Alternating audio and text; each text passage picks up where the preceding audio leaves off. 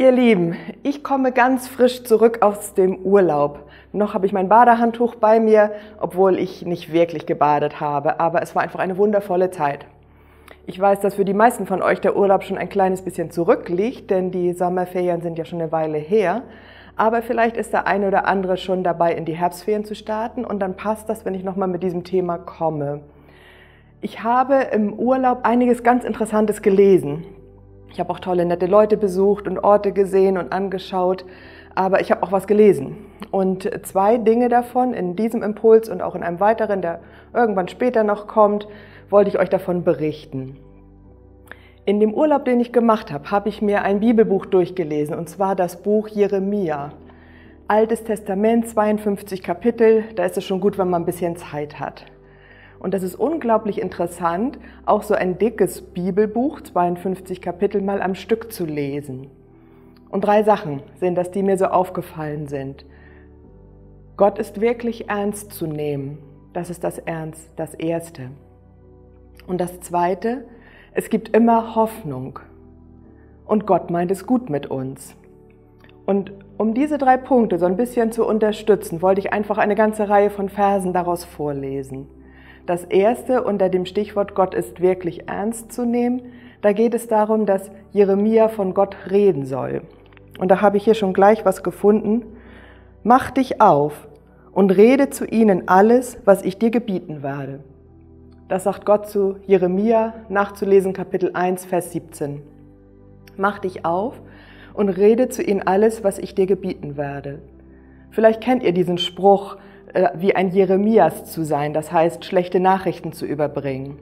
Und Jeremias hat sich mächtig unbeliebt gemacht, weil die Leute nicht hören wollten, was er gesagt hat. Er hat nämlich sehr ernste Worte gesprochen und Gott hat immer wieder gesagt, wenn ihr so weitermacht, dann wird das Böse enden. Zum Beispiel in einem weiteren Vers, das habe ich ja auch mitgebracht, Erkenne doch und sieh, dass es schlimm und bitter ist, wenn du den Herrn, deinen Gott, verlässt und wenn bei dir keine Furcht vor mir ist, spricht der Herr, der Herr der Heerscharen. Ein ganz ernstes Wort, das hören wir nicht gerne. Wir hören ja viel lieber, wie sehr Gott uns liebt. Aber das ist so eine Mahnung. Erkenn doch, wie schlimm und bitter das ist, wenn du den Herrn, dein Gott, verlässt. Wenn du einfach irgendwas machst, was dir gefällt und dich überhaupt nicht darum scherst, was Gott möchte. Und damit ist Jeremia losgezogen und hat dem Volk tatsächlich dann auch davon erzählt. Und das Volk, wie auch wir heute, glaube ich, neigt immer wieder dazu, die Dinge selber in die Hand zu nehmen, sich nicht um Gott zu scheren, im Zweifelsfall einfach zu machen, wozu wir Lust haben und nicht darauf zu achten, was für andere gut ist und was Gott eigentlich möchte. Und da kommt eben meine Aussage her, Gott ist sehr ernst zu nehmen. Und es kommt dann ja auch zu einer richtig, richtig schweren Krise für das Volk Israel, wie das hier in diesem Buch beschrieben ist. Die werden äh, angegriffen, äh, das, die werden besiegt und verschleppt. Und da kommt aber das nächste dann zutage.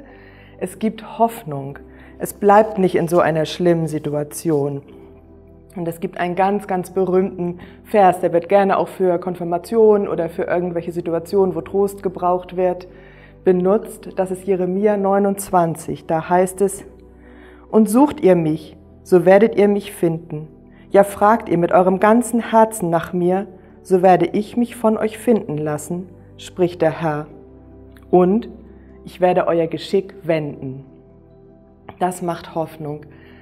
Es bleibt nicht so. Auch in der allerschlimmsten Krise, das bleibt nicht so.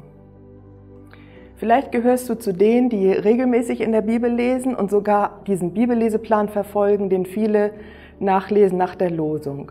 Dann beginnt heute am 5. Oktober dort das Buch Jeremia. Und du kannst ja mal in den folgenden Wochen, wenn ihr da so durchstöbert, gucken, ob dir das auch begegnet, dass Gott sehr ernst zu nehmen ist, aber dass Hoffnung ist und dass er es gut meint und am Ende tatsächlich die Rettung ankündigt für alle die, die nach ihm suchen. Denn das ist auch ein bekannter Vers. Wenn ihr mich von ganzem Herzen suchen werdet, so will ich mich von euch finden lassen. Du kannst ja mal schauen, ob du dich auch inspirieren lässt und dieses Buch nachliest. Ich wünsche dir einen wunderschönen Tag.